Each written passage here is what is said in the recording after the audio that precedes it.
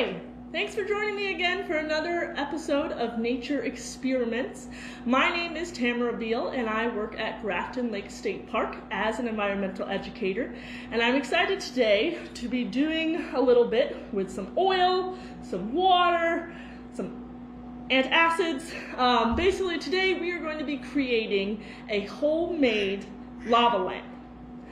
And so for this lava lamp, you need a couple different things. You need some oil, doesn't matter what kind, whether it's vegetable oil, canola oil, olive oil. Um, you need water. You need a clear bottle or glass. I've got a few different ones here that we're going to use. Um, and then you need an antacid. That can be Alka-Seltzer, it can be non-brand, name brand, doesn't really matter. And then the last thing you need is food coloring. You can pick your favorite color, whichever that might be. And so to do this experiment, we need to first put some water in a jar. Now just a little bit of water is fine. Um, just enough to basically cover the bottom that's all you need. And then you're gonna fill up a lot of oil. So getting a good big canister like this is good um, if you wanna do it a couple different times. That or you can use a smaller glass. Good amount in there. All right, so then we have to put our food coloring.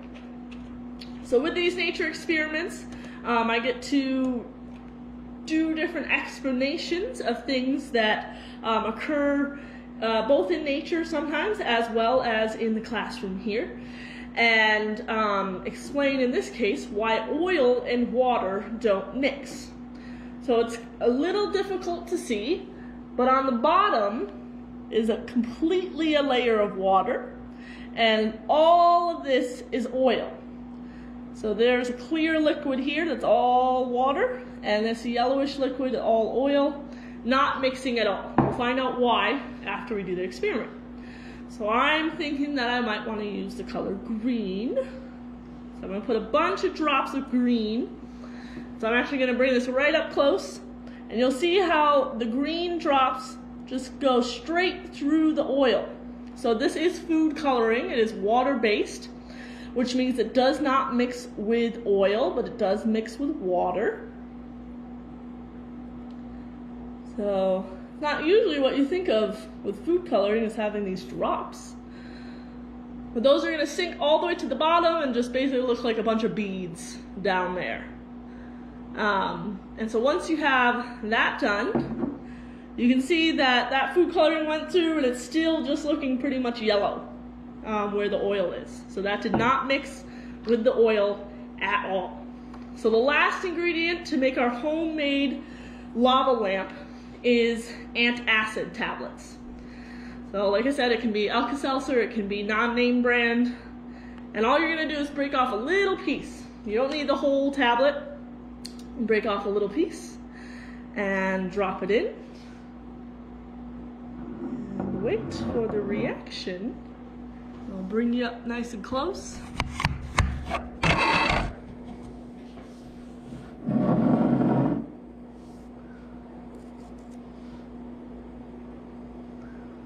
If you want, you can drop in another tablet, just for extra fun.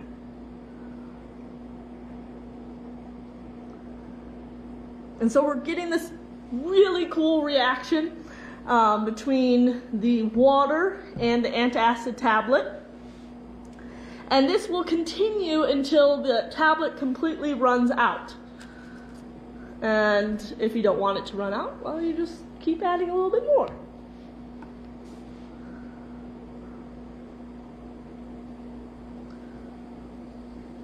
Now you can't hear it um, like I can, but I can hear this like fizzing noise.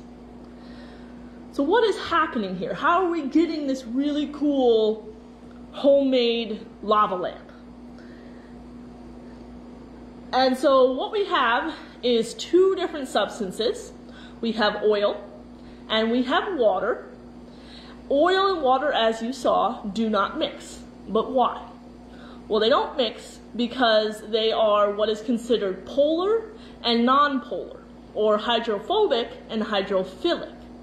So, phobic, you can think of the word phobia, um, almost as if it's fearing something. And then philic is the opposite, it's like it likes something. So, water is hydrophilic, it likes water. Oil is hydrophobic, it repels or does not bond with water. The reason that is, is because of the shape of water versus the shape of oil when it comes to the chemical compound. So, water, which most people probably know, H2O, is partially positive and partially negative at its poles. So, you have one oxygen bonded to two hydrogens. So, the hydrogens are partially positive and the oxygen is partially negative. They do not share these, what are called electrons, equally. They share them unequally, which creates a polar compound, partially positive, partially negative. You can think of it as if you had a can of soda and you tipped it slightly to one side. You would see a lot of that soda go this way and not as much soda at this end. So it's partially positive versus partially negative. Versus oil, in comparison is not partially positive, partially negative, because it does share those electrons equally. And therefore, it does not have any charge, so it is not attracted like a magnet would be. Um, when we think of a magnet, we think of opposite charges attract. Positives and negatives attract each other.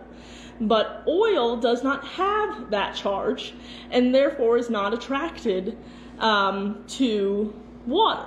So again, I'll do this and we'll watch as the blue this time uh, food coloring goes through the oil. Again, the food coloring is water based, so just like the water and oil are not attracted to each other, the blue food coloring and the oil will not be attracted to each other. So you can watch as those drops just drip, drip, drip down. Whereas if I were to drip, were if I were to put this in water, it would instantly start to combine with the water. Um, because again, this is water based, it is polar, um, versus when you drop it in oil, it just wants to go straight through. There is no attraction process or attraction between these two uh, compounds. All right, so then what is happening with our antacid tablets. So antacid tablets um, are made up of both acids and base compounds. And when it reacts with the water, it creates carbon dioxide. So remember I said there is that fizzing. Um, so that fizzing is that carbon dioxide being brought up and being released into the air. So the carbon dioxide um, to understand what is happening, we have to talk about density. So density is how compact a compound is. So another re- another reason why we have this makeup, not only are, is water and oil not mixing, but the water is all on the bottom, which means that it is more dense than oil. As in comparison, um, if oil was more dense, it would then be on the bottom. But when you drop in an antacid tablet, like Alka-Seltzer, it creates carbon dioxide gas. So gas is a lot lighter than water or oil, so it wants to rise to the surface through this solution.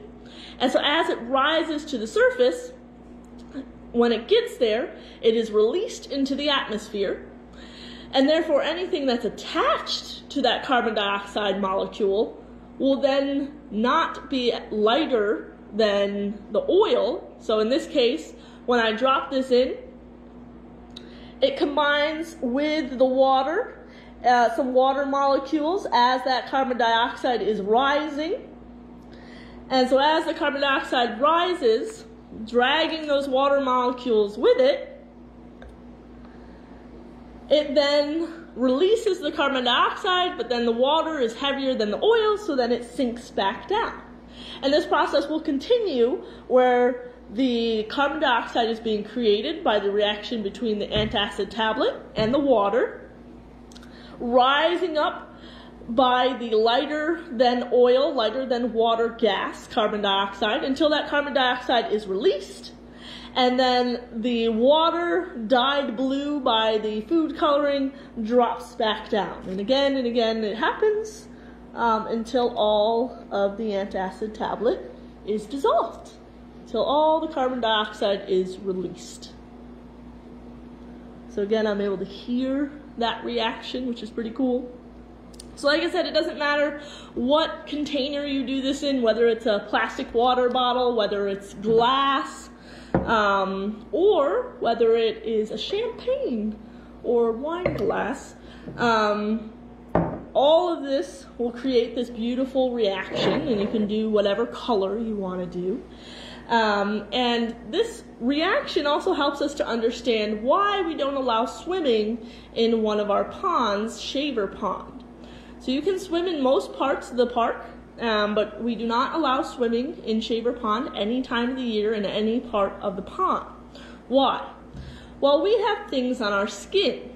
Um, we have oils, we have hair products we use, we have perfume we use, just all these different oils on our skin um, that might be natural or added to our hair and skin.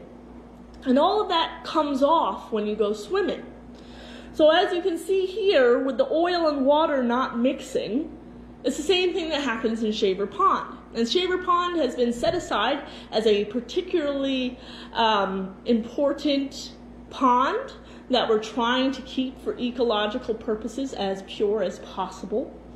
And there are also a lot of marshes around Shaver Pond that help to purify the water there. So we do ask that you do not swim in Shaver Pond. You can choose any of the other ponds to swim at your own risk, um, but that one specifically has been set aside for those purposes. Um, but to finish up today's experiment, we'll do it one more time and this time we'll do it in a nice glass.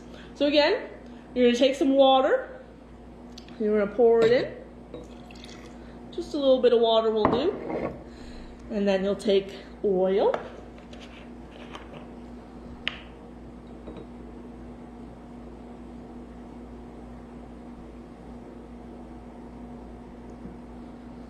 And then we'll let that settle a little bit. And hopefully with this one, you'll be able to see it pretty well. I'll put it up nice and close. You might be able to tell the, the bottom is pretty clear. That is all the water.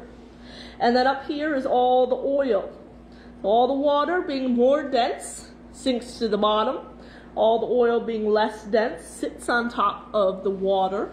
These two compounds being polar and non-polar um, meaning that the water un- unevenly shares its electrons. It's partially positive and partially negative. And the oil being nonpolar, which means it has no charge. Something with no charge and with a charge is not going to attract each other. Um, it needs to have a positive charge and a negative charge to attract each other, just like a magnet. And we're going to put a couple drops this time of red into our um, glass here, our fancy, fancy glass. And I'm going to try to spread out those drops to give them an even distribution. Personally, this is my favorite example of this experiment. And the last thing we need is an antacid tablet.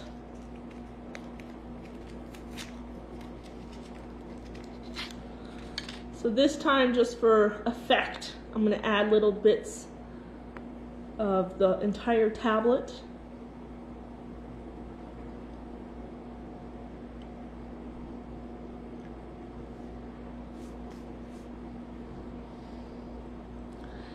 And so as the tablet reacts with the water, it sticks to the water, creates carbon dioxide. As it releases that carbon dioxide, that water is too heavy again and drops back down to the bottom versus the really light, really uh, low density carbon dioxide that gives off and creates our beautiful homemade lava lamp.